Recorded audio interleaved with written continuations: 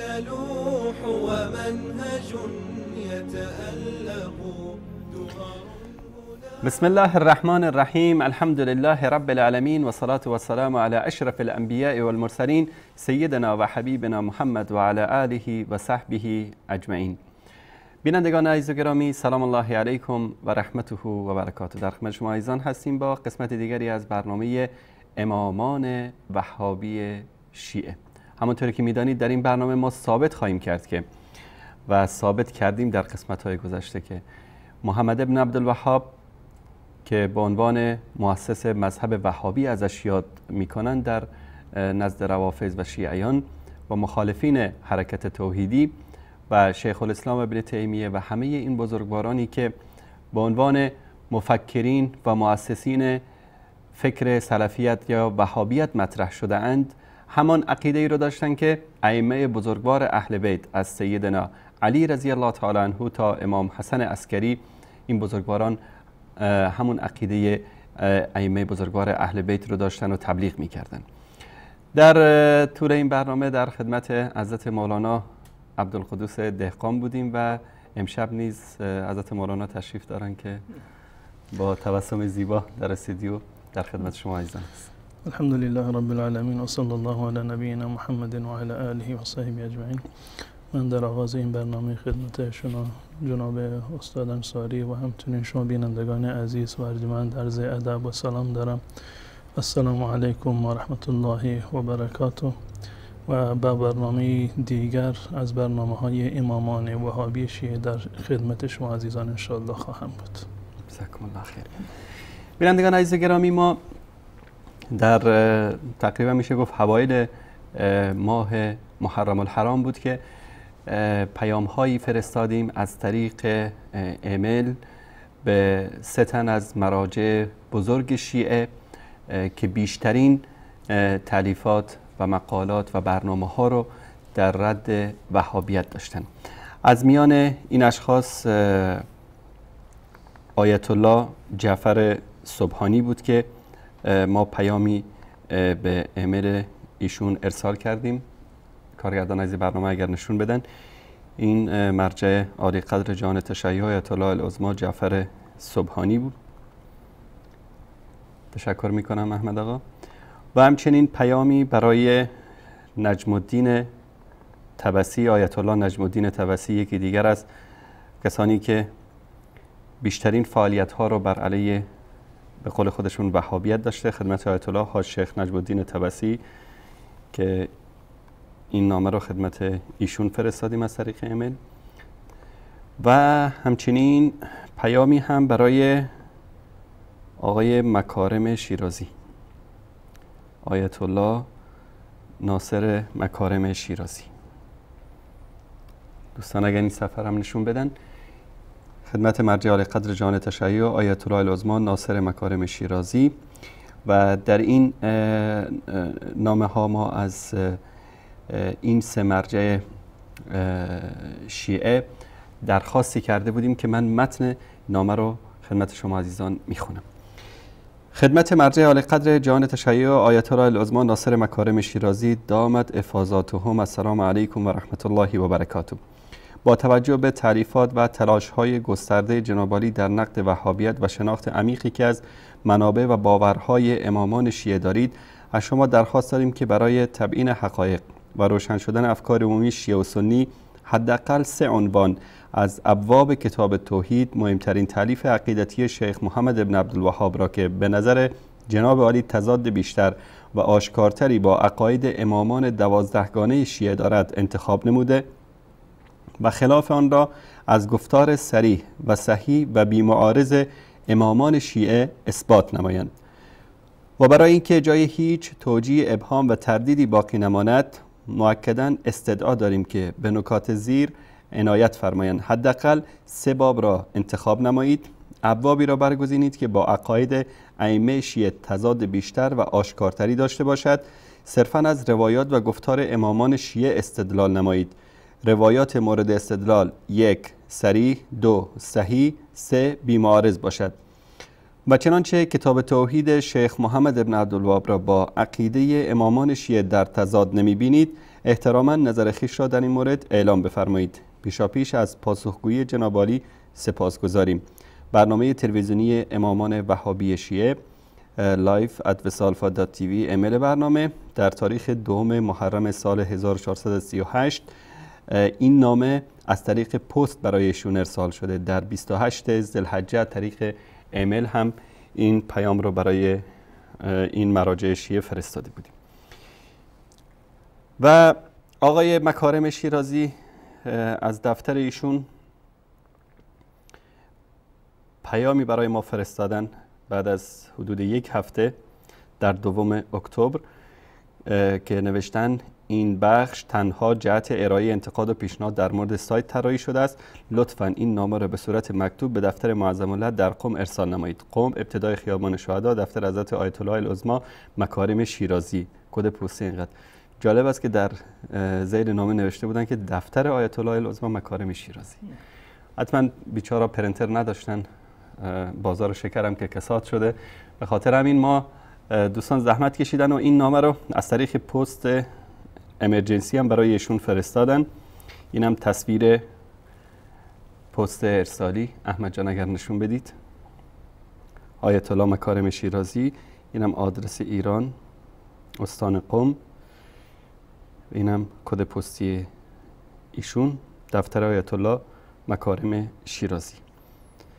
و این نامه هم به دفتر ایشون رسیده. منتها تا انوز ما هیچ پاسخی از آیت الله مکارم شیرازی و آیت الله جعفر صبحانی دریافت نکردیم. خوشبختانه در هفته ای که گذشت از دفتر آیت الله نجم الدین تبسی پیامی فرستاده شد و خلاصه ما هم با خوشحالی تمام این پیامی که جواب نامه ما بود رو خدمت حضرت مولانا عبدالقدوس دهقان تقدیم کردیم. این ایمیلی است که از دفتر آیت الله نجم الدین تبسی فرستادن. دوستان اگر نشون بدن این info.vela@gmail.com ایمیل رسمی ایشون هست.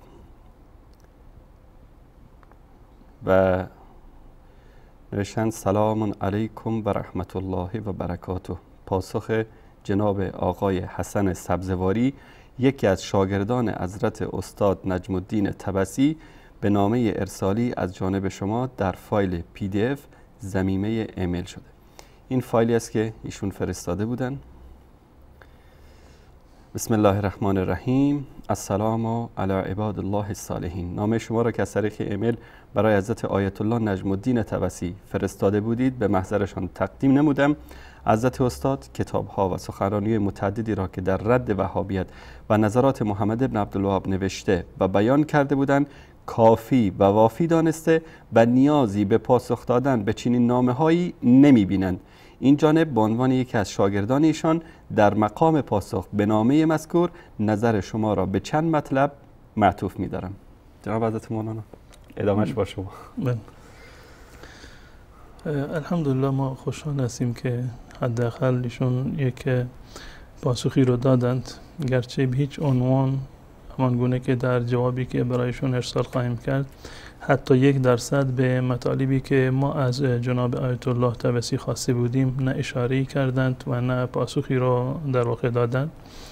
و در ابتدای این پاسخ گفتند که جناب آیت الله تبسی فرمودند که کتاب ها و سخنرانی هایی که ایشون دارند در رد وهابیت کافی و وافی هست و نیازی به پاسخ دادن نیست. اگر واقعا جناب استاد نیازی به پاسخ نمی‌دیدند شما به اجازه چه کسی جواب دادید؟ اگر اجازه ندادند و نیازی نمی‌دیدند که پاسخ بدن به پاسخ به ایمیل ما خب شما نباید این جواب رو می‌دادید. اگر اجازه فرمودند که شما به نمایندگی از ایشون جواب بدهید حداقل یک جواب علمی و آنچه از شما خواسته شده بود باید شما پاسخ می‌گفتید که متاسفانه در این زمینه هیچ گونه پاسخی رو ما دریافت نکردیم. و ایشون هم گفتند که به عنوان یکی از شاگردانشون در مقام پاسخ به نام مذکور نظر شما را به چند مطلب به چند مطلب معطوف می‌دارم. و این مطالبی که این آقای کسی که پاسخ را داده به عنوان شاگرد ایشون آقای سبزواری در واقع ایشون هیچ گونه اشاری رو نکردن. به مطالبی که ما از ایشون خواسته بودیم و گویا که اصلا متن نامه رو نخونده باشن و یک سری افتراها و اکاذیبی را که نیاکانشون گفته بودند یا هم فکرانشون گفته بودند مخالفان و معاندان شیخ محمد ابن عبدالوهاب رحمت الله علیه گفته بودند اونها رو از کتابشون از کتابی که خودشون باز نوشتند کپی کردند و برای ما فرستادند. و جالب هست ایشون میگند که هر مسلمان با انصافی با اندک مطالعه و تدبر و تأمل متوجه خواهد شد که بین اسلام و توحید خاتم الانبیاء محمد ابن عبدالله صلی الله علیه و آله و سلم و اسلام و توحید ادعایی محمد ابن عبدالوهاب هیچ گونه نقطه اشتراکی وجود ندارد تا در مقام مقایسه آن با توحید با توحید معرفی شده توسط اهل بیت علیهم السلام پرداخته و یا از آن دفاع نماییم. خب این یک ادعایی هست که شیعه در طول این سالیان اخیر و خصوصا در دوران حکومت جدید و انقلاب ایران اومدن و این مطلب را مطرح کردن. و یک ادعا هست. ما هم برای این که این ادعا رو شما واضح بکنید و روشن بفرمایید ما ایمیل رو برای شما فرستادیم و فقط سه مورد رو از شما خواستیم که شما در پاسخ این ایمیل فقط سه مورد از مواردی را که توحید محمد ابن عبدالوهاب با توحید ائمه تضاد و تناقض دارد این رو برای ما اثبات بکنید. از کتابهای خود ائمه شما از اقوال ائمهتون به شرطی که صحیح و صریح و بدون معارض باشه. من فکر نمی کنم که این کار یعنی زحمت زیادی رو برای شما داشته باشه که فقط سه مورد از کتابهای محمد ابن عبدالوهاب و خصوصا کتاب توحید ایشان که معروف ترین کتاب ایشون هست ما از شما خواسته بودیم که این صد درصد تناقض و صد درصد تضاد را کنار بگذارید فقط سه مورد رو ما خواستیم که شما تناقض باورهای محمد ابن عبدالوهاب را یا دیدگاه ایشان در مورد توحید را تناقضش را با عقیده اهل بیت رسول الله صلی الله علیه وسلم از اقوال اهل بیت برای ما اثبات بکنید. خاصه بزرگی هست. هدف ما هم همین است که این واقعیت برای مردم در واقع آشکار بشه.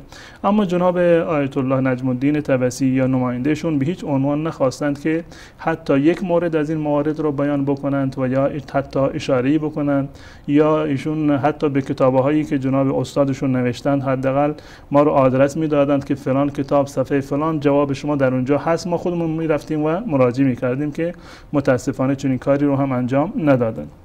به جای این اومدن در سه چهار صفحه مواردی رو نقل کردند از دشمنان محمد ابن عبدالوهاب از کسانی که مخالف بودند با عقیده محمد ابن عبدالوهاب انسانهای صوفی و گمراهی بودند. که متاسفانه صداقت و امانت علمی نداشتند افترا بستند بر علیه محمد ابن عبدالوهاب رحمت الله علیه. آقایون اومدن این افتراها را نقل کردند برای ما که این پاسخ علمی جواب شما هست. چند مورد رو در اینجا ذکر کردند یکی از این موارد این است که اشاره کرده در این نامه که محمد ابن عبدالوهاب هر کسی را که درود میفرستاده اون رو میکشتند. هر کسی که بر رسول الله صلی الله علیه وسلم درود میفرستادن این فردی رو در واقع میکشتن و اجازه نمی‌دادند. از بس که مخالف بودند با اهل بیت رسول الله صلی الله علیه و سلم این دروغی هست که واقعا هیچ انسان عاقلی این چنین دروغی رو نمی‌تواند قبول بکند. محمد ابن عبدالوهاب رحمت الله علیه بر مذهب امام احمد ابن حنبل رحمت الله علیه بودند. و خودشون حنبلی می‌گفتند و در مذهب امام احمد رحمت الله علیه درود گفتن در نماز جز ارکان و فرایز نماز هست تا این اندازه مهم هست برایشون. به چه عنوان کسی که درود فرستادن بر رسول الله صلی الله علیه وسلم را فرض می‌داند بر انسان در حالت نماز میآید و کسی را که درود بفرستد بر رسول الله صلی الله علیه وسلم چون این فردی را می‌کشد. یا مورد دیگر اومده که محمد ابن عبدالوهاب رحمت الله علیه مردم را تکفیر می‌کرده. و هر کسی رو که موافق با عقیدش نبوده اونها را میکشته که در هفته های گذشته ما به صورت کلی نظر شیخ محمد ابن عبدالوهاب رحمت الله علیه را درباره تکفیر بیان کردیم. حتی ایشون صراحتا فرموده بودند که اگر من ببینم کسی بر روی قبر که هیچی بر روی بوتی که بر قبر فلان شیخ عبدالقادر هست اگر سجده بکند من چنین فردی را کافر نمی‌گویم. تا این اندازه هست. و مطالبی که در مورد تکفیر گفته بودن من به صورت کلی و به صورت مفصل خدمت عزیزان در واقع بیان کردم. آقای تبسی یا نمایندهشون به هیچ عنوان در این چند صفحه‌ای که برای ما فرستادن جوابی رو در مورد خاصه ای که ما از ایشون طلب کرده بودیم جوابی رو نفرستادن و تمام مطالبی رو که در چند صفحه از اینجا ذکر کردن از کتابی هست به نام الدر رسانیه فی الرد علی الوهابیه که جالب این است که در این سه ورقی که برای ما فرستادن ده دوازده جا از این کتاب استناد کردند که این کتاب در واقع یکی از کتاب‌های یکی از افترا هست برای دعوت محمد ابن عبدالله همین افتراها رو در زمان حیاتش شیخ محمد ابن عبدالوهاب در کتاب رد شبهات اکثرش رو پاسخ داده. در در رسائل شخصی خودشون ایشون جواب جواب دادن. حتی مواردی رو که در اینجا اومده که محمد ابن عبدالوهاب نمی‌دونم هر کسی که پیشش می اومد اونو می‌گفت که بیالا مسلمان بشو اعتراف بکن که قبل از این شما بر شرک بودید و این موارد هست که حتی شیخ محمد ابن عبدالوهاب در رسائل شخصیش دقیقا این موارد رو پاسخ گفته و نیازی نمی‌بینم که من این موارد رو در واقع پاسخ از نگاه علمی برای شخصی که به اسمش آیت الله العظما هست. یعنی اینو یک طالب علم که یک آگاهی اندکی داشته باشه از امور علمی می‌دونه که کسی که با کسی دشمن هست بریم از کتاب اون بر علیه عقیده فلان شخص ما استفاده بکنیم. در حالی که کتابای اون طرف در همه جا هست. ده ها مورد از تعلیفاتی که خود ایشون دارن فرزندان شیخ محمد ابن عبدالوهاب داشتن. عقیده ایشون خودشون چندین کتاب در باب عقیده نوشتن که متاسفانه در این کتاب هایی که ضد محمد ابن عبدالوهاب و در نقد وهابیت نوشته در هیچ کدامشون از کتاب های خود محمد ابن عبدالوهاب چیزی رو نقل نکردند که با دلیل علمی در واقع رد بکنند و این کتاب الدر رستانیه فی الرد علی الوهابیه مال زینی دهلان است که علما اهل سنت و الجماعت حتی از عرب و غیر عرب بر دهلان که افترای صد درصد و قطعی هست پاسخهایی رو دادن که من نیاز نمی بینم که در این برنامه من وقت رو به این ضایع بکنم. اما اون چیزی رو که ما از ایشون خواسته بودیم متاسفانه در اینجا هیچ گونه جوابی رو ندادن. و در آخر کتاب هم گفتند که اما آنچه را که از حضرت استاد درباره آراء و نظریات توحیدی محمد ابن عبدالوهاب خواسته بودید همان گونه که خودتان هم در نامه اشاره کرده بودید حضرت استاد ده ها کتاب و جزوه و سخنرانی در رد آراء و نظریات محمد ابن عبدالوهاب نوشته و عرضه کردند. جهت آشنایی با بخشی از نقدها و اشکالات وارده بر محمد ابن عبدالوهاب می توانید به کتاب شناخت وهابیت مراجعه و پاسخ خودتان را دریافت نمایید و نیازی به پاسخ و اظهار نظر مجدد نیست.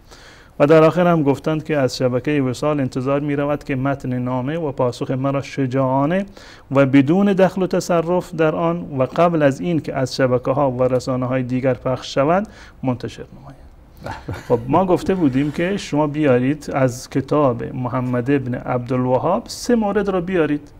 بسیار مختصر من سعی کردم که نامه بسیار مختصر باشه که در فهمش و در خوندنش دچار مشکل نشد فقط گفتند که سه مورد از کتاب التوحید محمد ابن عبدالوهاب را که به نظر شما تناقض و تضاد بیشتری با عقیده امامان اهل بیت رسول الله صلی الله علیه وسلم دارند این رو انتخاب بکنید و با دلیل ثابت بکنید که مخالف با قرآن مخالف با سنت از مخالف با اقوال ائمه اهل بیت و مذهب اهل بیت رسول الله صلی الله علیه و سلم هست که متاسفانه هیچ جوابی رو ندادن و جالب این است که حتی کتاب شناخت وهابیت که در واقع تعلیف خود کسی هست که نامه رو نوشته. بله. من اینو می‌خواستم برای آقای سبزواری رو در موردش بیشتر صحبت بکنیم. خود کتابی هست که یعنی خودشون نوشتند حالا نمی‌دونم استادشون نوشته به نام ایشون زدن یا ایشان نوشته به نام استادشون زدن. به هر صورت کتابی هست که در واقع خود این کسی که پاسخ داده این نامه رو برای ما فرستادن.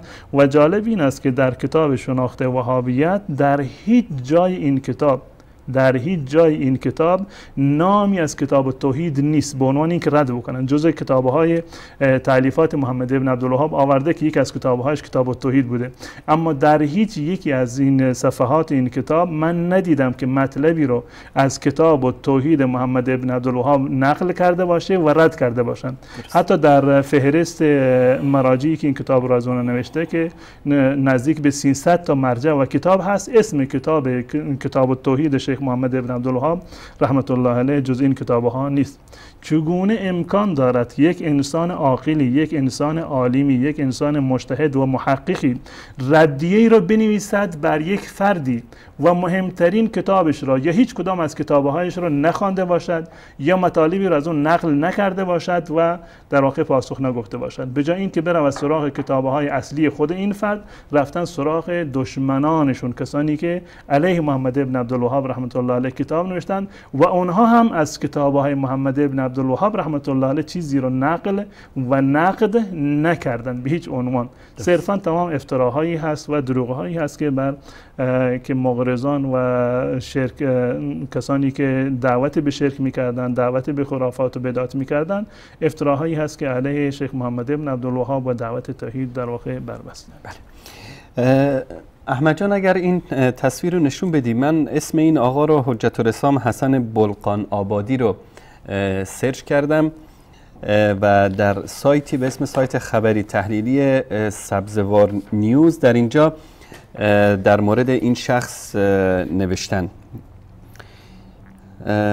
واقعا جناب استاد یک مسئله هست میگن چه دلاور است دزدی که به کف چراغ دارد. بله. یعنی این واقعا من تعجب می‌کنم. در قسمت اول من اشاره کرده بودم که اینها غیرت و مردانگی ندارن که به نامه ما پاسخ بدن. عزت استاد خندیدن. شاید تصور می‌کردن که شاید اینا میان و پاسخ میدن. اما واقعیت این است بینندگان عزیز و گرامی نه مکارم شیرازی نه تبسی نه جعفر صبحانی همه اوضاع علمی قوم با هم جمع بشن. نمی‌تونن به نامه شبکه جانی به صالح حق پاسخ بدن چون پاسخی وجود نداره. آنچه ما در نامه نوشتیم حقیقت است. عقیده محمد ابن عبدالوهاب عقیده علی ابن ابی طالب حسن ابن علی حسین ابن علی علی ابن الحسین و تا امام حسن عسکری همه این امامان بزرگوار اهل بیت که اینها خودشون رو پیرو به اونها می‌دونن دقیقا همون عقیده ای رو داشتن که محمد ابن عبدالوهاب شیخ الاسلام ابن تیمیه و بزرگان به اصطلاح سلفیت یا وهابیت به قول اینها دارن. بر صورت این آقای حجت الاسلام حسن بلقان آبادی رو احمد جان نشون بده اگر که این اصل ایمیلی رو که برایشون فرستادن در آخرش که امضا و نام آقای حسن بلقان آبادی هست. در اونجا نمی‌دونم که عمدی بوده یا اینکه یک نوع تنبیه بوده. ایشان نوشتن حسن سبزواری. بله. حسن اینو نشون بده احمد جان. این نامه ای که ایشون نوشتن در تاریخ 12 8 1395 شمسی اینجا نوشته حسن سبزواری. در حالی که وقتی ما تحقیق کردیم در مورد ایشون در یکی از وبسایت های اینها در سبزوار نیوز حسن حجت الاسلام حسن بلقان آبادی در اینجا ذکر شده. ایشون محقق نویسنده و دارنده رتبه برتر کتاب سال حوزه در سال 92 و جالب این است که این کتاب برتر همین کتاب شناخت وهابیت هست. عجب. در جلد کتاب نوشتند که نجم الدین تبسین رو تعلیف کرده. جایزه شو دادند به آقای حسن بلخان آبیدی نمی‌دونم چه معمایی در اینجا هست. کتاب به نام آیت الله تبسی چاپ شده. گرچه زیرش نوشته در صفحه بعدش که به همکاری آقای بلخان آبادی اما ایشون صاحب جایزه هستند و جایزه رو به ایشون دادن این یک معمایی هست که باید نمی‌دونم آخر این جایزه رو کی برداشته دادن به آیت الله تبسی یا خودشون برداشتن؟ حجت الاسلام و المسلمین حسن بلخان آبادی در اول شهریور سال 1355 شمسی در خانواده مذهبی در روستای بلخان آباد از تابع بخش خوشاب شهرستان سبزوار به دنیا آمد. یعنی سبزواری بلخان آبادی همان یکی هست. بله. بعد حالا دوستان می‌تونن اسم ایشون رو امین حجت الاسلام حسن بلخان آبادی بنویسن در گوگل. اولین مطلب از سبزوار نیوز از این سایت در مورد ایشون هست. من بعضی از قسمت هایی رو که اینجا اومده می‌خونم براتون. همزمان با شرکت در درس خارج فقه و اصول حضرت آیت الله علی دوست با حضرت آیت الله نجم الدین تبسی آشنا شده و زیر نظر دفتر مرجع عالی قدر مرحوم حضرت آیت الله العظما فاضل لنکرانی در مباحث و کلاس های مربوط به اختلافات شیعه سنی با گرایش وهابیت شرکت کرده و پس از اتمام مراحل مقدماتی ملازم همیشگی حضرت استاد تبسی گردید و در کتابخانه شخصی استاد و زیر نظر ایشان به تحقیق و تعلیف کتاب در رابطه با وهابیت پرداخت. و مطالب متعددی در مورد ایشون نوشته است. اینجاش مهم است که کتاب شناخت وهابیت نقد و بررسی تفسیری پیشینه عملکردها و باورهای وهابیت یکی از مهمترین و جامعترین کتابهای نوشته شده درباره وهابیت در سالهای اخیر است که حجت الاسلام حسن بلقان در تحقیق و تتبع آن نقش زیادی داشته است. این کتاب حاصل سه سال. سه سال تلاش. سه سال یعنی سه سال تلاش کردن زحمت کشیدن که دروغ های چهار تا نویسنده عربی که دشمن محمد ابن عبدالوهاب بودن و به او تهمت و افترا بسته بودن فقط در ظرف سال اینا رو آوردن ترجمه کردن به فارسی و به خورد مردم دادن. فکر کردن که دیگه همه گوسفند تشریف دارن و حرفای اینا رو گوش می‌کنن. بر صورت این کتاب حاصل سه سال تلاش و تحقیق و تتبع حضرت حجت الاسلام اثر بلخانابادی و حجت الاسلام محمد محمد محسن تبسی زیر نظر حضرت استاد آیت الله نجم الدین تبسی است که با استفاده از منابع تاریخی و روایی اهل سنت به نقد و بررسی آرا و افکار و عملکرد وهابیان پرداخته و در سه بخش کلی به رشته تحریر درآمده و در زمستان 1391 شمسی به چاپ رسیده است. و مطالب دیگری هم در این صفحه وجود داره که در مورد کارهایشون که اسمشو گذاشتن تحقیق علمی. کتاب شناخت وهابیت نقد و بررسی تفسیری پیشینه عملکرده و باورهای وهابیت از میان حدود 80 اثر رسیده به دبیرخانه کتاب سال حوزه در موضوع کلام اثر برگزیده شناخته شده و رتبه اول را به دست آورده و در مراسم کتاب سال حوزه از آن تقدیر به عمل آمده است. انشالله این کتاب رو یعنی در جلسات بعد سعی می‌کنیم که با خودمون انشالله بیاریم و مطالبی رو از این کتاب خدمت بینندگان عزیز نمایش خواهیم داد تا ببینیم که چقدر اینها بر اساس واقعیت و با در نظر داشتن معیارها و اصول علمی تحقیق کردند. سه سال یک گروه علمی ایشون آقای حجت الاسلام محسن تبسی و خود آقای نجم الدین تبسی یک گروه کاری سه سال عمر خودشون رو ضایع کردند و بهترین کتاب را نوشتند وقتی که بهترین کتابشون این باشه انشالله ما خدمت شما بینندگان عزیز مطالب این کتاب رو در جاهایی که نیاز باشه و مطالبی که مطرح می‌کنیم انشالله خدمت شما معرفی خواهیم کرد تا اینکه ببینیم این کتاب از چه ارزش علمی وجود برخوردار هست.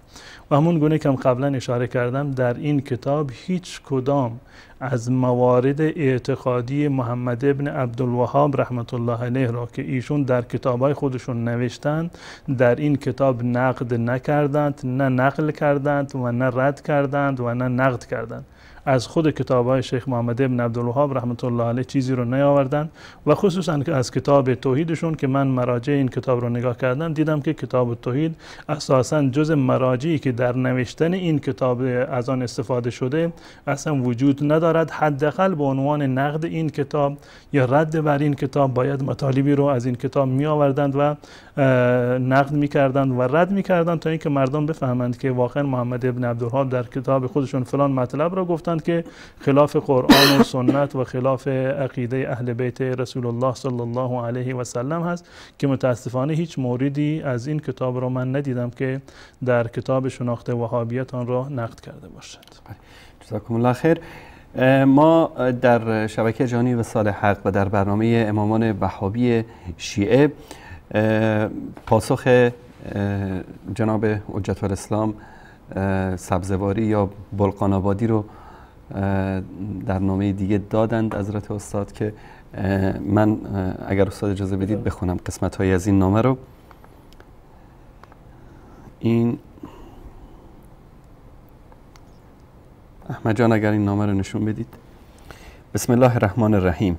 جناب آقای آیت الله نجم الدین تبسی و حجت الاسلام حسن بلقان سبزواری. و علی عباد الله الصالحین السلام. یک نقطه رو توضیح بدم در مورد این نقطه و علی عباد الله الصالحین السلام و در آخر این برنامه هم که آخر نامه ایشون که نوشته بودم و سلام علی من اتبع الهدا این دقیقا من قبلا در نامه که نوشته بودم به مراجع با کمال ادب و احترام بهترین الفاظ را با تهیه اسلامی السلام علیکم و رحمت الله نوشته بودن اما وقتی که ایشون با این جملات پاسخ دادم من دقیقا جملات ایشون رو در اینجا کپی کردم و گذاشتم که و علی عباد الله الصالحین السلام و در آخرش و السلام علی من اتبع الهدى بله. تشکر جناب استاد. در این نامه نوشتیم که جناب آقای آیت نجم الدین تبسی و حجت الاسلام حسن بلقان آبادی سبزواری و علی عباد الله صالحین السلام. امروز به فضل الله متعال دوران شعار و شایعه و سیانمایی به پایان رسیده است و مردم فهیم و حقجوی ایران به درجه از بلوغ فکری و رشد دینی رسیدند که واقعیت‌های علمی را از شعارها و شایعات مغرضانه تشخیص دهند. لابد می‌دانید که کتمان علم آن هم در زمانی که مردم با آن نیاز مبرم دارند گناهی است. بس عظیم که در روز قیامت مجازات الهی را در پی خواهد داشت زیرا پیامبر اکرم صلی الله علیه و آله و سلم فرمودند من کتم علما نافعا الجمه الله یوم القیامه بلجام من النار. من نار. در بهار الانوار جلد دو صفحه 78 کسی که علم نافعی رو پنهان بکنه از مردم در روز قیامت الله سبحانه و تعالی لجامی از نار از آتش بر دهان او خواهد زد. گفتند که فهم سوال نصف جواب است. نمی‌دانم که شما سوال را نفهمیده اید و یا پاسخی نداشته اید و یا از بیان واقعیت تفره رفته اید و حقیقت را کتمان کرده اید زیرا شما در پاسختان آسمان و ریسمان را به هم بافته اید و پاسخ شما یک درصد نیز با سوالی که از شما شده بود همخانی ندارد. گفته اید حضرت استاد کتاب ها و سخنرانی های متعددی که در رد وهابیت و نظرات محمد ابن عبدالوهاب نوشته و بیان کردن کافی و وافی دانسته و نیازی به پاسخ دادن به چنین نامه هایی را نمی بینند اما واقعیت آن است که پاسخ سوال ما نه تنها در هیچ یک از کتاب های ایشان بلکه در هیچ کتابی که در نقد وهابیت نگاشته شده است وجود ندارد و هیچ کدام از این تیف کتاب ها عقاید را که شیخ محمد ابن عبدالوهاب در کتاب توحید خیش نگاشتن نقد نکرده و خلاف آن را از کلام صحیح و صریح و بی معارض امامان اهل بیت اثبات ننمودند. و شما که در مقام پاسخگویی به جای استادتان برآمده اید سزاوار بود که به جای تکرار توتیوار یاوه ها و افتراهای افراد ناآگاه و متعصب و مغرض پاسخ علمی و منطقی سوال ما را از انبوه کتاب هایی که بزرگان و اساتید شما در نقد وهابیت نگاشتن استخراج می نمودید و برای ما ارسال می کردید شما تفاوت توحید محمد ابن عبدالوهاب رحمه الله و توحید اهل بیت را تفاوت ظلمت و نور دانسته اید و گفته اید هیچ تناسبی بین ظلمت و نور وجود ندارد و هیچ عقل سالمی ظلمات را با نور مقایسه نکرده و دنبال نقاط اشتراک آن دو نمی گردد. آری تفاوت نور و ظلمات بسیار است و ما از میان صد درصد تفاوت و عدم تناسبی که شما ادعا می کنید صرفا سه مورد را خواسته بودیم که با دلیل علمی و طبق شرایطی که در نامه مذکور است برای بینندگان ما بیان کنید. در مورد اظهار نظر درباره کتاب توحید گفته جهت آشنایی با بخشی از نقدها و اشکالات وارده بر محمد ابن عبدالوهاب می توانید به کتاب شناخت وهابیت مراجعه و پاسخ خودتان را دریافت نمایید و نیاز به پاسخ و اظهار نظر مجدد نیست. کتاب مذکور که یک گروه چند نفری سه سال برای آن وقت گذاشته اید متاسفانه با روشی کاملا غیر علمی نگاشته شده است و به جای نقل عقیده شیخ محمد ابن عبدالوهاب از کتب خود ایشان و نقد علمی آن بر اساس قرآن و سنت و گفتار اهل بیت به نقل قول از مخالفان شیخ محمد ابن عبدالوهاب رحمه الله پرداخته اید و در هیچ جای کتاب مطلبی از کتاب توحید که مهمترین کتاب عقیدتی ایشان هست نقل و نقد علمی نکردید و متاسفانه کتاب توحید اساسا جزو منابع کتاب شما ذکر نشده است. نمی‌دانم که چگونه توحید محمد ابن عبدالوهاب را نقل کرده اید اما یک مطلب از کتاب توحید ایشان نقل و رد نکرده اید. اکنون از آیت الله تبسی و گروه علمیشان که سه سال را صرف نگارش کتاب شناخت وهابیت کردن می‌خواهیم که حداقل سه ساعتی را برای پاسخ به نامه ما وقت بگذارند و به جای پرداختن به حاشیه ها و نقل اکاذیب و افتراهای دیگران پاسخی دقیق و علمی ارائه دهند و برای اتمام حجت نامه را یک بار دیگر برایتان ارسال می نماییم و اگر در نامه ابهامی مشاهده کردید و یا فهم آن برایتان دشوار بود بفرمایید تا با زبانی دیگر و ساده تر برایتان شرح دهیم. و سلام علی من الهدا برنامه تلویزیونی امامان وهابی شیعه امل لایف تیوی 28 8 1395 هجری شمسی. این نامه رو در هفته گذشته یعنی قرار بود که بفرستیم اما متاسفانه برنامه اجرا نشد در هفته گذشته و تاریخش با امروز تطابق نداره. تاریخ هفته گذشته است. بله. احمد جان اگر که ایمیل live رو نشون بدید ما هم نسخه PDF و هم نسخه JPG یا تصویر همین نامه رو داریم میفرستیم.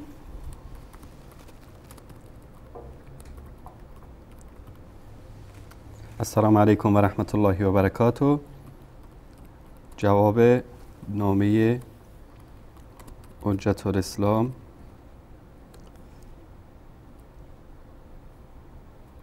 سب زواری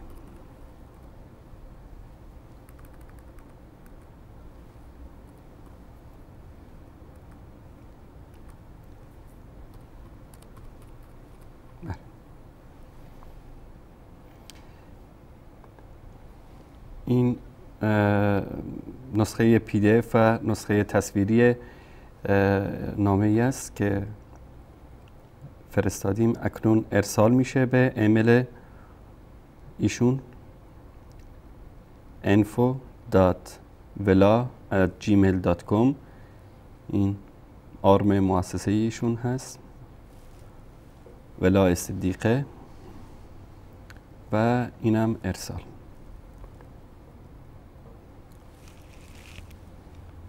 تم ارسال رسالتک پیام فرستاده شد. به ایمیل ایشون. تشکر می‌کنم احمد جان.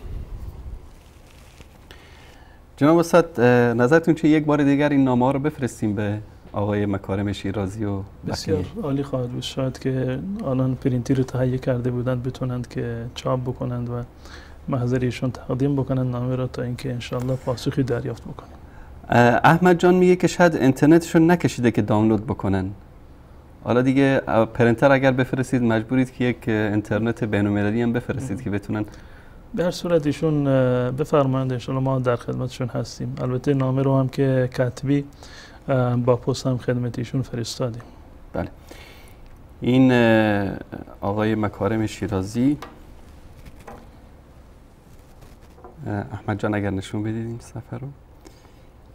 یک بار دیگر مکارم at مکارم ما نامه خدمت ایشون میفرستیم.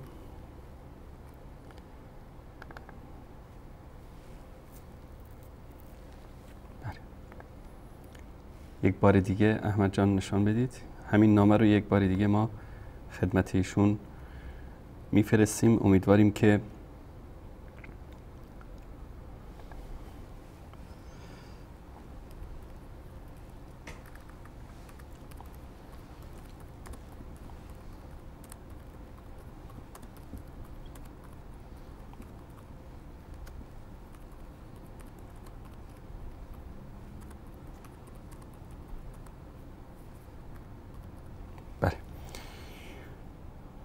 البته برای بار سوم میشه.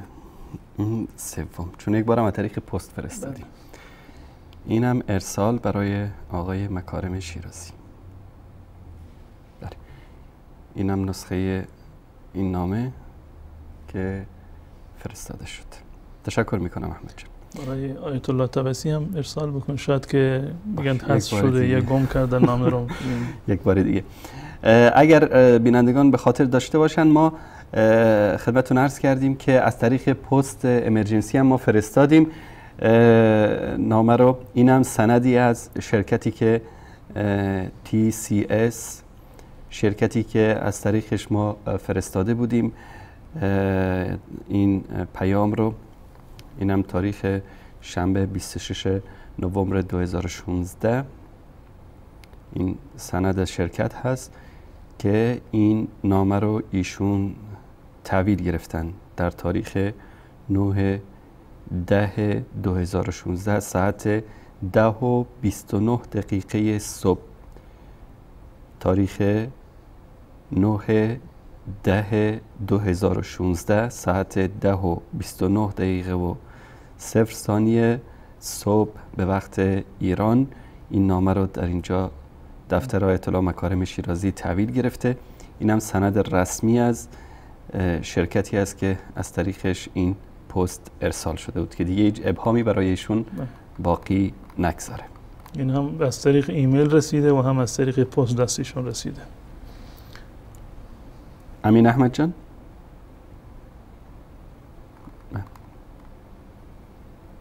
بله. آه اینجام نوشته که تاکید بشه که در تاریخ بله این مشخصات ارسال کننده هم اینجا هست. فرستنده محمد انصاری برای آیت الله مکارم شیرازی. در 5 اکتبر 2016 این نامه ارسال شده و در تاریخ 9 ده 2016 ساعت 10 و 29 دقیقه صبح دفتر آیت الله مکارم شیرازی این نامه رو تحویل گرفته. بله 9 ده ماه دهم تاریخ نهم. تشکر می‌کنم احمد جان. جناب استاد نصیحتی اگر دارید برای آقای مکارم شیرازی تا من این نامه رو یک بار دیگه بفرستم برای ایشون. ما در واقع تقاضا کردیم از بزرگواران شیعه مراجع شیعه و کسی دیگر رو سراغ نداشتیم که بیشتر از جناب آیت الله العظما مکارم شیرازی و آیت الله جعفر صبحانی و آیت الله نجم الدین تبسی در زمینه نقد وهابیت کار کرده باشند یا آشنایی داشته باشند با عقاید وهابیت و محمد ابن عبدالوهاب رحمت الله علیه. بدین خاطر از این بزرگواران تقاضا کردیم که حقیقت رو برای مردم بیان بفرمایند. اگر واقعا کتاب شیخ محمد ابن عبدالوهاب رحمت الله علیه با عقیده امامانشی همسو هست یکی هست تفاوتی ندارد. با شهامت اعلام بکنند که بله آنچه محمد ابن عبدالوهاب رحمت الله علیه فرمودند دقیقا عقیده امامان معصوم شیعه هست و اگر تضاد و تناقضی هست یا تفاوتی رو داره انحرافی صورت گرفته در عقیده محمد ابن عبدالوهاب از کتابه های خود محمد ابن عبدالوهاب اون موارد رو ذکر بکنن. ما سه مورد رو خواستیم از کتاب التوحید یا هر کتابی از کتاب ایشون هم که پاسخ دادن بازم اشکال نداره. سه مورد رو از کتابه های محمد ابن عبدالوهاب برای ما نقل بکنن که فلان مطلب فلان مطلب و فلان مطلب رو محمد ابن عبدالوهاب در باب عقیده و در باب توحید فرمودند که تناقض دارد با قرآن یا با سنت یا با عقیده اهل بیت رسول الله صلی الله علیه وسلم و این عقیده اهل بیت رو از روایات اهل بیت برای ما ثابت بفرمایند. روایات امام علی رضی الله تعالی عنه تا امام دوازدهمشون که زنده و حی و حاضر هست و اگر دسترسی دارند از هر کدام از ائمه بزرگوارشون اگر نص صحیح و سریح و بیمعارضی رو آورده بودند در نقض کلام محمد ابن عبدالوهاب یا در مطلبی که محمد ابن عبدالوهاب به عنوان توحید و شرک مطرح کرده انشاءالله برای ما بفرستند و ما صادقانه و با شهامت تمام انشاءالله پاسخ علمی شما را در محضر بینندگان عزیز انشاءالله تقدیم خواهید کرد.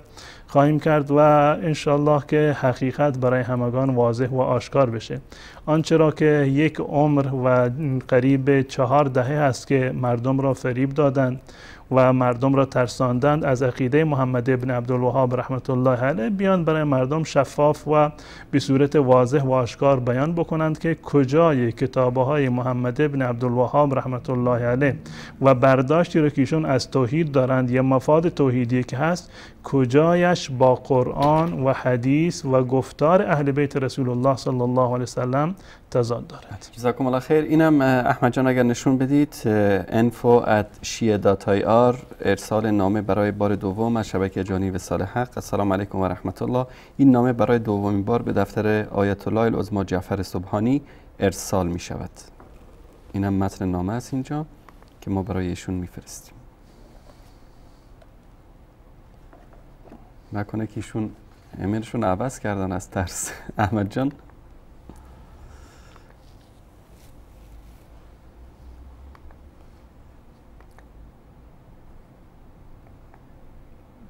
بر حال من سعی می‌کنم این نامه رو یک بار دیگه بفرستم. خدمت ایشون. آقای بله. احمد جان این پیام رو نشون بده.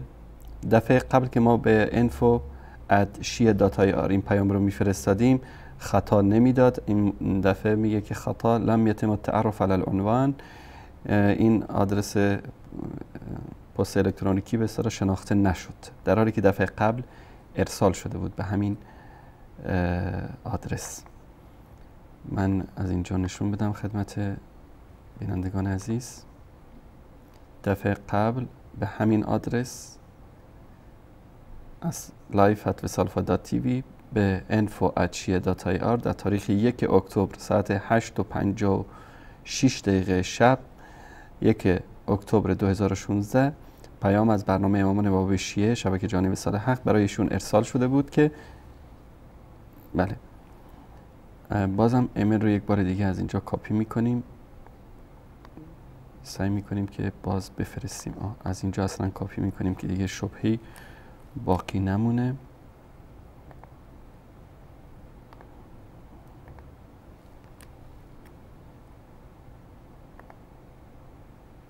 بله. الحمدلله که ارسال شد. بله. یک بار دیگه ارسال شد. چند ثانیه قبل. یک بار دیگه برای دفتر آیت الله جعفر صبحانی. یک بار دیگه این پیام رو ارسال کردیم. جناب استاد برای آقای مکارم شیرازی هم بفرستیم یک بار دیگه. آره، آیت الله تبسی. و همچنین برای آیت الله تبسی و آقای برای مکارم شیرازی یک بار فرستادیم. فرستادیم. فرستادیم. برای آقای تبسی هم یک بار دیگه. بله.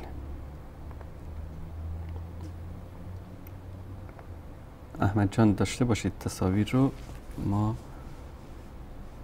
پیام برای مراجع شیعه نجم الدین تبسی اینم پیام. اینجا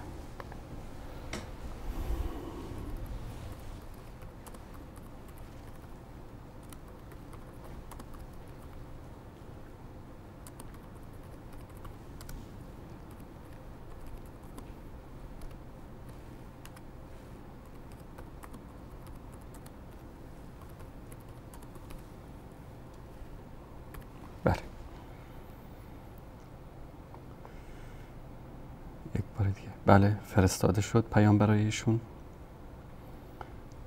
تشکر می‌کنم احمد جان. ما برای اتمام حجت و اینکه شما بینندگان شاهد باشید که این آیات ازام و حجج اسلام غیر از فریبکاری و دروغگویی و مکاری کاری دیگری ندارند و آنچه که در کتاباشون در نقد وهابیت نوشتن فقط برای ترساندن مردم از توحید و یکتاپرستی و اسلام ناب و حقیقی است. یک لولو خورخوره درست کردن و مردم دارن ازش میترسونن. هیچ گونه بحث و تحقیق علمی در کتاب های اینا وجود نداره. اگر وجود می داشت در مدت این دو ماهی که ما این برنامه را اجرا کردیم حداقل یک پاسخی به یکی از فرمودهای حضرت استاد که در این برنامه ایراد شد می‌دادن. جناب استاد اگر صحبتی ندارید میان برنامه بگیریم میان برنامه می‌گیریم و دوباره انشاءالله در خدمت شما عزیزان خواهیم بود با ادامه برنامه امامان وحابی شیعه.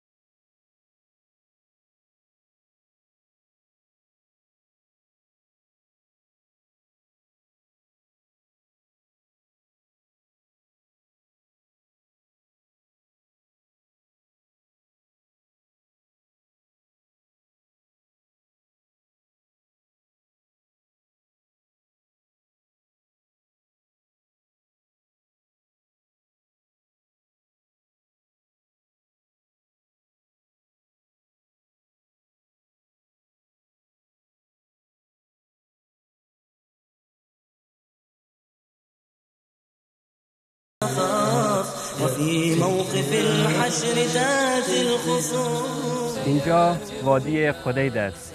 130 کیلومتری شمال مکه مکرمه. رسول اکرم صلی الله علیه و آله و سلم با تحمل زحمات و مشقات فراوان از این مسیر به طرف مدینه منوره هجرت نمودند تا دین مبین اسلام را برای ما برسانند و اولین حکومت اسلامی را در شهر مبارک مدینه منوره تأسیس نمایند.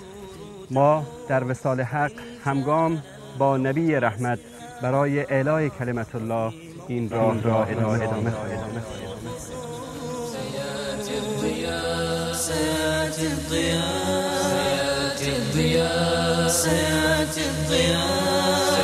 سيأتي الضياء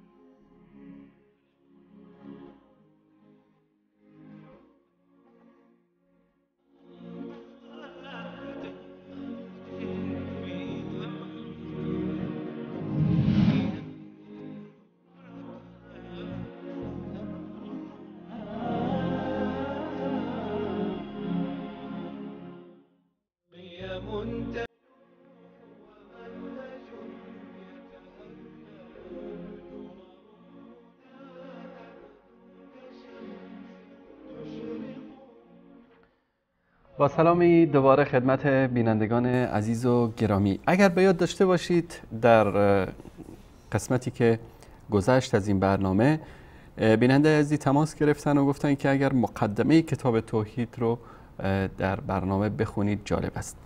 این کتاب توحید است کتاب توحید محمد ابن عبدالوهاب که به زبان فارسی هم ترجمه شده و عزیزانی که این کتاب رو دوست دارن که داشته باشن می‌تونن به ایمیل book at وصال حق TV تماس بگیرن که احمد جان زیرنویس می‌کنه و این کتاب رو عزیزان ما می‌تونن برای شما از طریق ایمیل نسخه Word و PDF ش رو ارسال بکنن. کتاب توحید اثر شیخ محمد ابن عبدالوهاب و ترجمه شیخ اسحاق دبیری رحمه الله مؤسس کتابخانه عقیده.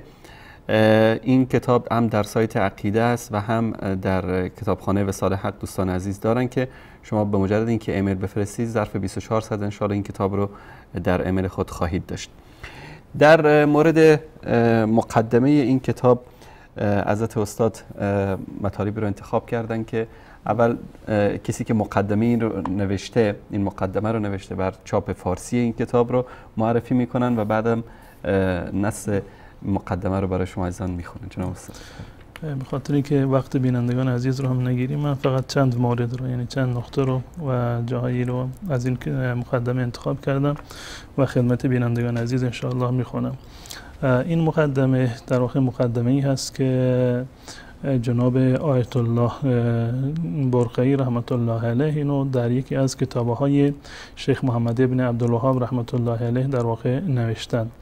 که شیخ محمد ابن عبدالوهاب رحمت الله علیه یک کتاب دیگری به نام عقیده اسلامی از ایشون چاپ شده که مجموعی از سه رساله هست. از رساله های شیخ محمد ابن عبدالوهاب رحمت الله علیه که خود جناب آیت الله برخی به آن اشاره می کند و خود این جریانش که ایشون چی شد که دنبال نقد وهابیت رفت یا شناخت وهابیت رفت این هم خودش جای تعمل داره. و حال بسیاری از علمای امروز را یا از عوام امروز را در واقع بیان می کند که جالب هست که این نکات رو انشاءالله بینندگان عزیز هم در ذهن داشته باشند البته من یک نکته اشاره کنم حضرت استاد که حضرت آیت الله العظما برقعی سید ابوالفضل برقعی قومی یکی از مراجع شیعه و از همدوره های خمینی و دوستان خیلی نزدیک آیت الله خمینی بود که چندین بارم که قصد ترور ایشون رو کردن و خواستن ایشون رو اذیت آزار بکنن انصافا خمینی در شروع ازش دفاع کرد و نذاشت که کشته بشه. و اگر خمینی نمی بود شاید هم دوستی که بین اینا بود اگر وجود نداشت. همون روزهای اول بعد از اینکه به قول اونها وهابی شده بود آیت الله برقی ایشونو میکشتن. و این آیت الله سید ابوالفضل برقی مذهب خرافات و خزعبلات رافضیگری رو ترک کرده بود. کتاب های متعددی داره. کسانی که می‌خوان با آیت الله سید ابوالفضل برقی قومی از مراجع بزرگ تقلید شیعیان ایران آشنا بشن. ایمیل بفرستن به کتابخانه وسال بوکت وسال حق دات تیوی انشالله کتاب سوانه ایام که خاطرات زندگی ایشون به قلم خودشون هست رو برای شما عزیزان ارسال خواهیم کرد. تصاویر زیبایی هم هست از ایشون از دورانی که در حوزه بودن و با دوستانشون که انشالله این کتاب رو هم می‌تونید داشته باشید. از طریق ایمیل براتون ارسال می‌کنیم. در این کتاب زندگی نامه خودشون رو مفصل بیان کردن خاطرات خودشون رو مدارک علمی خودشون رو مدرک اجتهاد و بقیه مواردی که هست کاملا در این کتاب ذکر کردن. کتاب واقعا بسیار جالبی هست که تاریخ ابتدای انقلاب رو و حرکاتی رو که بود و افراد رو به صورت بسیار واضح و شفاف به تصویر کشیده. به هر صورت ایشون خودشون این جریان تعریف کردند که چی شده که این مقدمه رو نوشتن و مقدمه رو برای چی نوشتن این خودش واضح هست و من نمی‌خوام در این زمینه توضیح بیشتری رو بدم. به نام خدای عزوجل تعالی شأنه العزیز نویسنده این ترجمه گوید که خود آیت الله برخی هست. سالهای بسیار در مجالس و محافل ایران تعن و لعن و بدگویی شدیدی میشنیدم. از گویندگان دینی نسبت به طایفه وهابیه که ساکن حجازند. و این فرقه مخلدین محمد ابن عبدالوهابند در فروع دینی. مانند شیعه که مقلد یکی از علمای خود می باشند و آنان نام وهابی روی خود نگذاشتهاند بلکه خود را مسلمان می‌خوانند. و محمد ابن عبدالوهاب عالمی بود که در اوایل قرن دوازده هجری برای دفع خرافات مسلمین و رفع شرک قیام کرده و ای را به نظر اصلاحی خود دعوت کرده فرق اسلامی پیروان او را وهابی می‌گویند. در ایران هر کس از بزرگان و علمای دینی حقیقتی از حقایق قرآن و اسلام و توحید را بیان می کرد و یا یکی از خرافات دینی را رد می نمود فورا او را تهمت وهابی می زدند و دلیلی بر رد او نداشتند جز اینکه او وهابی است و به همین بهانه او را می کوبیدند این جانب تعجب می, و به خود می گفتم چگونه هر کس حقیقتی را از قرآن بیان کند او را وهابی می خوانند مگر وهابی ها چه عقایدی دارند که ما نباید داشته باشیم؟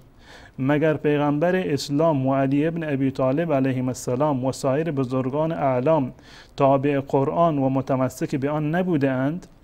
در زمان ما بسیاری از علمای روشنفکر متدین را دیدم که هرگاه خواست از یکی از حقایق قرآنی پرده بردارد و مردم را به توحید و قرآن آشنا سازد فورا به بهانه وهابیگری او را کوبیدند و مردم عوام را علیه او تحریک کردند. مانند آیت الله بزرگ حاجی سید اسدالله خارخانی و آیت الله خالصی زاده و نابغه کبیر شریعت سنگلجی و آیت الله وحید الدین مرشی نجفی و آیت الله العظما آقای سید محسن حکیم و حدت الاسلام والمسلمین آقای جلالی قوچانی و امثال ایشان کثر الله تعالی امثالهم پس در صدد برآمدن به قاعده و به حکم الانسان و حریص علی ما که جستجو و تحقیق نمایم و ببینم جماعت وهابیه چی می‌گویند و عقاید ایشان چیست؟ اگر واقعا مسلمانند که خون و مال و عرض و آبروی آنان محفوظ و بدگویی و غیبت ایشان حرام است. رسول الله صلی الله علیه و سلم فرمودند من جنگ کردم تا مردم لا اله الا الله بگویند و موحد شوند. و فرمود ارز المسلمی کدمه. یعنی آبروی مسلمان مانند خون اوست. همان طوری که قتل مسلمان از گناهان کبیره است ریختن آبروی او نیز از گناهان کبیره است. می‌گوید که متاسفانه از جماعت وهابیه در ایران نه کسی را یافتم تا تحقیق کنم و نه کتابی از خود ایشان دیدم واقعا این روش علمی ایشون هست که دنبال کتابه های ایشون بوده که از بله. خود کتاب ایشون دریافت بکنند که محمد ابن عبدالوهاب کی بوده و چه عقیده رو داشته تا اینکه در سال 1352 شمسی موفق شدم به زیارت بیت الله الحرام و سپس به مدینه منوره برای زیارت رسول خدا صلی الله علیه و سلم و در آنجا کتابی دیدم که روی آن نوشته العقیدة الاسلامیه لشیخ الاسلام محمد ابن عبدالوهاب. به خود گفتم عقیده هر کس را باید از خود او و یا از کتاب او جویا شد و به اشخاص دیگر نباید مراجعه کرد زیرا ممکن است کم و زیاد و یا تحریف کنند و یا اعمال غرض نمایند؟ پس بهتر است که کتاب خود این شخص که مؤسس و مرجع بوده مطالعه شود تا از عقاید و عقاید او و پیروانش آگاهی حاصل گردد. به هر حال آن کتاب را گرفتم برای مطالعه. بعضی از دوستان ما آن کتاب را دیدند و از من ترجمه آن را درخواست کردند. تا کسانی که به عقاید وهابی آشنا نیستند آگاه گردند. و لذا به ترجمه ساده آن کتاب بدون کم و زیاد اقدام نمودم. و اگر لازم به توضیحی بود بین پرانتز توضیح دادم و این کتاب مشتمل است بر سه رساله از خود شیخ الاسلام محمد ابن عبدالوهاب که در سال 1390 قمری چاپ شده و مجموعاً در 63 صفحه به اتمام رسیده. رساله اول بحث شده از خداشناسی و دین و پیغمبرشناسی رساله دوم در بیان راه صحیح و سالم در پیروی دین حنیف و ملت ابراهیم. رساله سوم شبهاتی که مغرضین بر اسلام و توحید وارد کرده اند را رد کرده و جواب آنان را بیان کرده.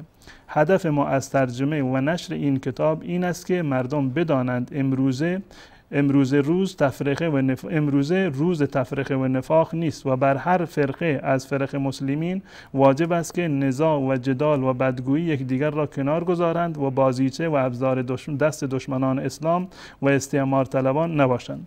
مطالبی رو در این زمینه برای وحدت توضیح داده و در آخر این صفحه می‌گوید که اگر در مسائل علمی و یا دینی کسی اشتباهی کرده فوری به تکفیر و لعن و تفسیق او نپردازند و جار و جنجال راه نیندازند بلکه به لطف و خیرخواهی با دلایل علمی و قرآنی گوش زد یکدیگر کنند و اختلافات را کم کنند نمانند بعضی از منبری های نادان به بدگویی و افترا بپردازند و یک کلاغ را چل کلاغ کنند.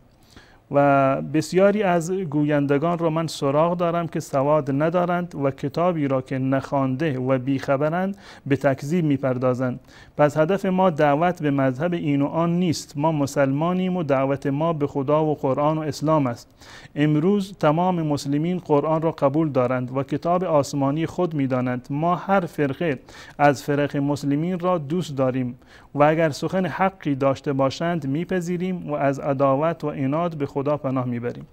در ادامه مطلب در صفحه 6 ایشان می‌گویند که به هر حال ما مندرجات این رساله را برخلاف کتاب خدا و سنت رسول الله صلی الله علیه و سلم ندیدم و مجوز فحش و لعن در آن نیافتم و دلیلی بر بطلان عقاید آن نداریم بلکه تمام آن را مطابق کتاب خدا و سنت رسول خدا صلی الله علیه و سلم دیدم و اگر کسی یکی از مطالب آن را باطل و یا برخلاف کتاب خدا می‌داند دلیل آن را ذکر کند نه آنکه به سب لعن بپردازد. و ما دقیقا همین خواستیم از آقایون مراجع. اگر در کتابهای شیخ محمد ابن عبدالوهاب رحمت الله علیه مطلب باطل یا برخلاف قرآن و سنت و عقیده اهل بیت وجود دارد آن را برای ما ارائه بدید و آن را برای ما با دلیل و مدرک بیان بکنید تا اینکه بینندگان در واقع از حقیقت امر و از واقعیت ها اطلاع پیدا بکنند. این هم نظر شیخ آیت الله. ابوالفضل برقی قمی هست در مورد کتاب عقیده اسلامیه شیخ محمد ابن عبدالله که خود ایشون این کتاب رو ترجمه کردن. مجموعه سه رساله هست که الاصول الثلاثه و القواعد الاربعه و همچنین کشف شبهات شیخ محمد ابن عبدالوهاب رحمت الله علیه. و به اضافه این کتاب که کتاب التوحید هست از این چهار کتاب عقیدتی شیخ محمد ابن عبدالوهاب رحمت الله علیه اگر واقعا مخالف با عقیده اهل بیت هست علما و بزرگان شیعه آستین بالا بزنن. و حداقل سه موردی رو که ما از ایشان خواستیم برای ما بیان بکنند و ما بقیه رو قیاس می‌کنیم. اگر ایشون سه مورد رو آوردند که کتاب کتاب توحید محمد ابن عبدالوهاب با عقی با قرآن و حدیث و عقیده اهل بیت رسول الله صلی الله علیه وسلم که آن را با روایات صحیح و صریح و بیمار ثابت کردند دیگه ما حرفی در واقع نداریم و این رو خدمت بینندگان عزیز کاملا و بدون هیچ گونه اجحافی انشاءالله نمایش خواهیم داد. جزاکم الله خیر. تشکر می‌کنم از حضرت مولانا عبدالقدس دهخان و شما ایزان که تا این لحظه با ما همراه بودید. شماره تلفن برنامه زیرنویس شده و شما ایزان می‌تونید تماس بگیرید و در رابطه با موضوع امشب صحبت بکنید و همون سوالی که ما از مراجع شیعه پرسیدیم از آیت تبسی از آیت سبحانی از آیت مکارم شیرازی. اگر از عزیزان شیعه ما کسانی هستند که با کتب محمد ابن عبدالوهاب آشنا هستند و دسترسی دارن و تحقیق کردن در این مورد. امیدواریم که کسانی پیدا بشن که بتونن تماس بگیرن و در این رابطه صحبت بکنن. و خواهش دیگر من این است که عزیزان بیننده سوالات شرعی نپرسن در این برنامه فقط در رابطه با موضوع برنامه صحبت کنن. بیننده اول سلام علیکم بفرمایید. سلام علیکم بفرمایید.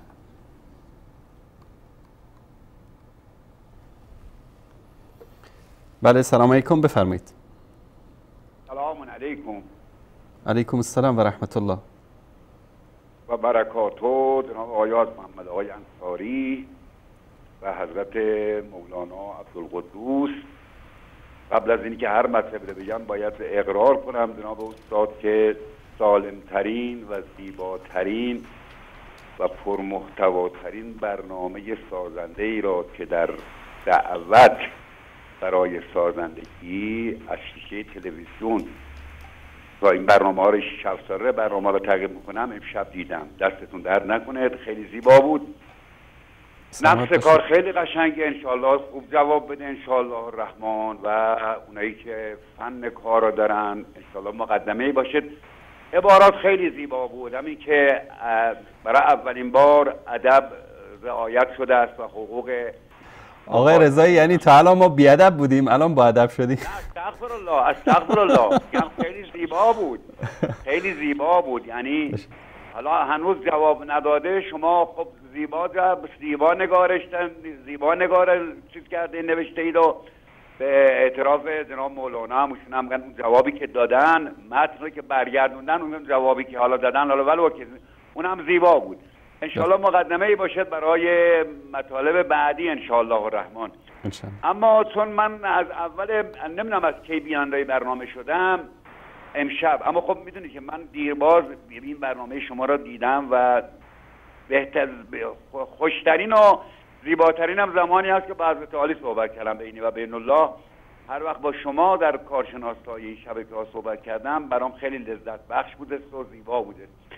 حالا اگر بر این حقیر کمترین این بیننده کمترین منت بگذارید اجازه بدید من کل درونم را اعتقاداتم را نسبت به چیز درون خودم در هر سه چهار دقیقه بیان کنم ان الله الرحمن بلکه مثمر ثمر بیفتد آقای رضایی فقط یه خواهش دارم از شما برادر بزرگوار که موضوع برنامه این است که آیا مطلبی در کتب محمد ابن عبدالوهاب خلاف عقیده ائمه بزرگوار شیعه علیهم السلام وجود داره؟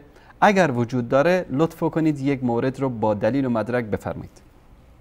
محضرتون بگم که استاد بزرگوار من چند ماه قبلم دست ما بالا گرفتم تسلیم شدم. گفتم من نسبت به کتابای محمد ابن عبدالوهاب هیچ اطلاعاتی ندارم خدا شاهده. هیچ مطالعه نداشتم و اگرم امشب برام وقتی تو این برنامه نیست که مسئله دیگه بگم اشکال نداره. شب چهارشنبه میام تو برنامهتون با صحبت می‌کنم. فقط یه خوبی دیگه هم امشب برنامه داشت برنامه که این مسئله امشب شما شفاف گفتید که عنوانی تحت عنوان وهابیت موضوعی تحت عنوان وهابیت. حالا چیز داره که رو موضوعیتی داره که روش چیز بشه برخلاف بعضی از شبکه ها که بعضی وقت بیننده ها زنگ می‌زنن اصلا میگن آقا هم واژه‌ای وجود ندارد. یه اتهام است و یه دروغ است. حالا شما گفت حالا این موضوعیت هم که داشته باشه بیان روش بحث کنیم. ان الله رحمان اونایی که فن نشونست بیان با باهاتون صحبت کنن تشکر. اگر برای مطلبی که من می‌خوام بگم در اعتقاداتم و برادر عزیز امامت- بزرگوار آقای رضایی اگر روز سهشنبه شب چهارشنبه در آن روی که تشریف بیارید من در خدمت شما خواهم بود. فعلا اه، موضوعیت برنامه حفظ بشه. به نظرم بهتره. چش چش. تشکر. شنبه میام و آقای عبدالقدوس هم دوست داشتم. از اینجا یه سلام علیک خدمتشون داشته باشم. چون یه شبی باش تلفنی صحبت کردم. در, در غیر برنامه. ایشون. برنامه رابطه تلفنی داشت. ایشون اون شب به ما لطف کردند و ما را محبت کردند و ذره پروری کردن می‌خواستم امشب هم حالا یه سلام علیک خدمتشون داشته حضرت مولانا. زنده باشید. و علیکم السلام و رحمت الله و برکاته. موفق باشید. استاد کار خیلی خوبی را شروع کردین. انشالله نتیجه بده انشالله خدا نگهدار شما. خدا نگهدار. تشکر از شما. تشکر. بیننده بعدی سلام علیکم بفرمایید. الله يا انصاري. عليكم السلام ورحمة الله وبركاته. على صدى من وهابيات علماء الشيخين وقتاً وهابيات وهابيات ما همین همه روشن مولانا گفتن همچنین وهابیت شده پرداخته شده اینها برای محکوم کردن ما. ولكن آه، هست علماء آه، أهل در سراسر دنیا. چشم جمع شدن و گفت وهابیت اصلا از اهل سنت نیست یعنی وجودش رو قبول کردن ولیکن داخل در اهل سنت ندانستند و علمای وهابی از عربستان و کشورهای دیگه اصلا دعوت نکردن. و این خاطر هم آنها خیلی اعتراض کردن. پس فقط این علمای شیعه شاید دروغ گفته باشند ولیکن علمای اهل سنت چی گفتند؟ این رو چگونه باید جواب داد که اهل سنت را از وهابیت جدا کرده و وهابیت را خارج از دین اسلام معرفی کردن؟ و گفتن یه برادر عزیز برادر عزیز آقای. محترم ببینید فلسفه نگید. اینایی که در اونجا جمع شده بودن علمای بزرگ جهان اسلام که شما ازشون نام می‌برید در بینشون آیا از کشورهای عربی معروف از علمای بزرگ جهان اسلام از هیئت علمای مسلمین که به اصطلاح نمایندگی می‌کنن از علمای جهان اسلام کسی هم شرکت کردن در اونجا؟ بله عالم الازهر رئیس الازهر آنجا بود. عالم ازهر اون عالم. اون عالم ازهر اون معلومه من در موردش قبلا صحبت کردم. ببینید ما در اهل سنت هیئت بین المللی علمای اسلام دارن که مقرش در قطر هست. رئیسش شیخ یوسف قرضاوی است. آیا ایشون دعوت شده بودن در اینجا؟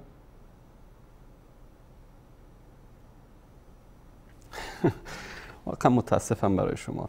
جناب صدای یعنی کسی می‌تونه بیاد بگه که مثلا فلانی جز اهل سنت هست یا نیست؟ چه معیارهایی وجود داره برای کسی رو داخل کردن در جماعت اهل سنت و خارج کردن از جماعت اهل سنت؟ حرف ما همینه.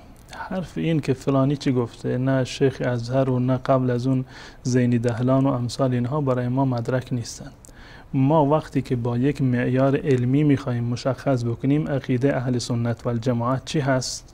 هر کسی که این عقیده رو داشته باشه اهل سنت و الجماعت غیر از آن باشد اهل سنت و الجماعت نیست بحث ما در برنامه امامان وهابی شیعت این است. آنچه را که محمد ابن عبدالوهاب رحمت الله علیه فرمودند دقیقا همان چیزی هست که امامان شیعه فرمودند.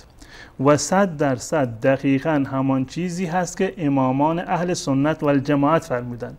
امام ابو حنیفه امام مالک امام شافعی و امام احمد ابن حنبل.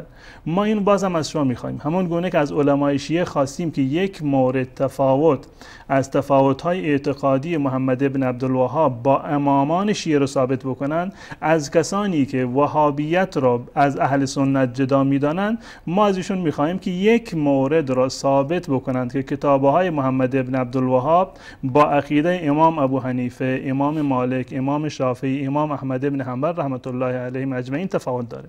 آن چیزی را که محمد ابن عبدالوهاب گفتند دقیقا همان چیزی هست که امامان اربعه اهل سنت و الجماعت به اضافه امامان یازدهگانه شیعه گفتند. هیچ گونه تفاوتی بود در این زمینه وجود ندارد.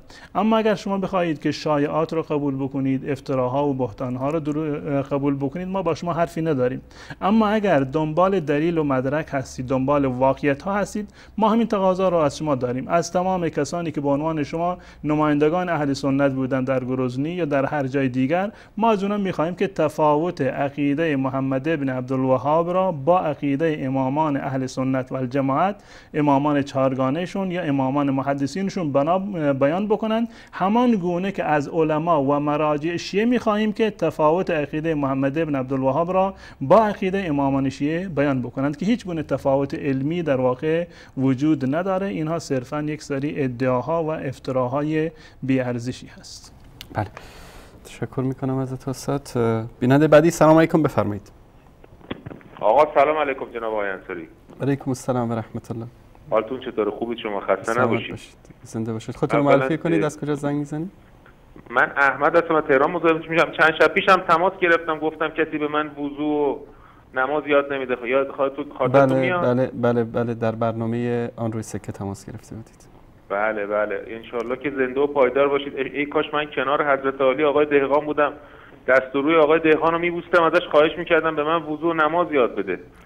اولین چیزی که می‌خوام بگم اشهد لا اله الا الله و محمد رسول الله. الله اکبر. این الله آره این بدین معنی که این ده سال پیش در دل من بود که امروز خدمتتون دارم میگم. الله. انشالله زنده و پایدار باشید و با توجه به توضیحاتی که شما بزرگواران فرمودین ما می‌تونیم عبدالوهاب رو محی الدین بنامیم در دوران تاریکی ایشون مسلمانان را به راه راست هدایت کرده و دین اسلام رو دوباره زنده کرده. انشالله که خداوند به شما عمر بده. دست شما هم درد نکنه. سلامت باشید احمد جان. الله مطالب ستون کنه. زنده باشید قربان شما. به همچنین به همچنین. انشالله زنده و پایدار باشید. سلامت باشید. سلامت باشید. خدا, خدا نگهدارتون. خدا, خدا شما. بیننده بعدی سلام علیکم. بفرمایید.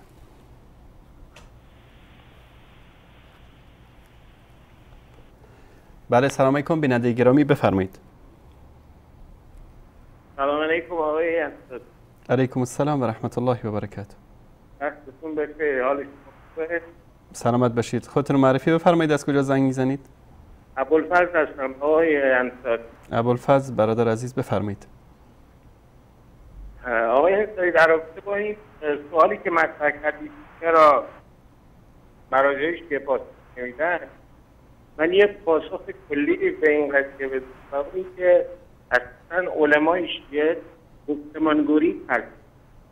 و حتی در درون خودش گفتمانگوری هست. ما چهل ساله که از انقلاب داره تو همون سالهای اولیه که آقای بنیسر یه سری دینی رو انداخت دیگه شاهد این راه نبودیم. حتی در درونش. چه برسه به این که با از خود درست.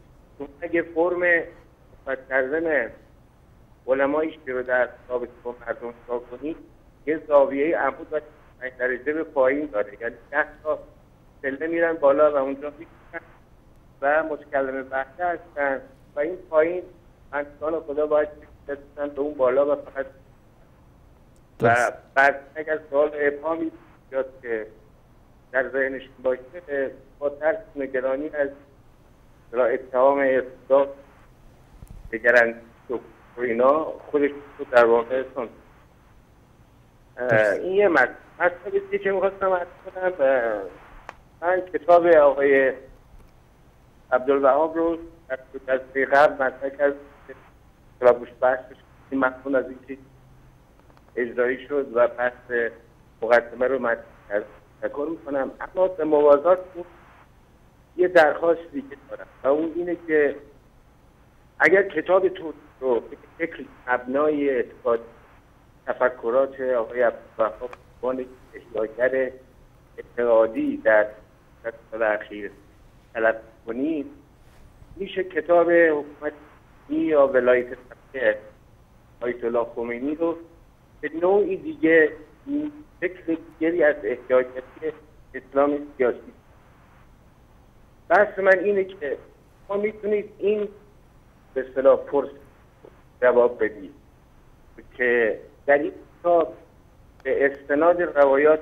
که از مثلا امر ابن حنفه یا ابوالبختری یا راویان دیگه روایاتی از امام صادق شده و از عمه در اثبات این علما وارث ائمه پیغمبران در روی زمین است. و ایشون به استناد این روایات حکومت و مانیفست اصلاح سیاسی رو استخراج من سوالم از آقای عبدالقدوس البته اینه که این کتاب رو اگر مطالعه کرد بفرمایند که سندیت روایات مطرح می‌کنه چه اندازه قابل در مورد سلسله راویان این روایات و بعد هم این سوال رو مطرح. حداقل برای کسایی که یا برای خود آقای عبدالقدوس کنم تعارضات کتاب روایات مطرح در کتاب با اه، نص قرآن سنت درست. و عقل در این متن کتاب داره. به یه شکل کتاب رو از منظر روایت شناسی و قرآن و سنت نقل ابوالفضل. برادر عزیز شما در مورد این کتاب اگر بخواید این مطالب رو بیان بکنیم باید یک برنامه ویژه بگذاریم. من عرضم همینه. یه برنامه ویژه در ادامه همین برنامه که شما در مورد کتاب توحید آقای عبدالوهاب گفتید بله. در ادامه این کتاب رو به بحث چون- مناظره درست. چون کتاب حکومت اسلامی یکی از کتاب های خمینی است که مملو از سب و لعن و توهین و تکفیر و مواردی است که یعنی در یک برنامه دو برنامه نمیشه ازش گذشت. آقای انصاری کتاب خوشبختانه در زمره اون کتابایی که مسائل لند خیلی کم و ضعیف که من این کتاب رو سه چهار بار به دقت خوندم. یک بار 16 سالم بود این کتاب رو خوندم. و دو بار سه بار در همین هفته های اخیر خوندم. نکاتی که شما دارید اشاره می‌کنید شاید در بین کتاب های مراجع شیعه ضعیفترین و به اصطلاح کمترین اعانت رو به مقدسات السنت داره. که حتی یک دو مورد داد ولی من بحثم این نیست که این کتاب درست. بشه. بحثم اینه که تعارضات این کتاب آه. و روایاتی که چشم. انشالله در این مورد انشالله سعی می‌کنیم در این مورد انشالله با شورای علمی شبکه مشوره بکنیم که اگر برنامه ویژه‌ای در مورد کتاب های خمینی بتونیم داشته باشیم که این موارد انشالله بهش اشاره بشه. تشکر از شما برادر عزیز. تاکیدم روی همین کتاب و خواهش که تصمیم دارم اگه ممکنه آخر برنامه من چند لحظه با شما تماس بگیرم ممنون خواهم انشالله انشالله تشکر از شما برادر عزیز. آخرین تماس رو می‌گیریم. برای بیننده گرامی سلام علیکم. سلام علیکم بفرمایید. سلام علیکم جناب آقای انصاری بزرگوار. علیکم السلام و رحمت الله و برکاته. خودتون رو معرفی بفرمایید از کجا زنگ می‌زنید؟ محمد هستم از اهواز. آقا محمد از اهواز. آقا محمد بزرگوار بفرمایید. خیلی مختصر چون وقت برنامه خدمت شما به برنامه که گذاشتید خواستم خدمتتون عرض بکنم. شما که مدعی این هستید که با مراجع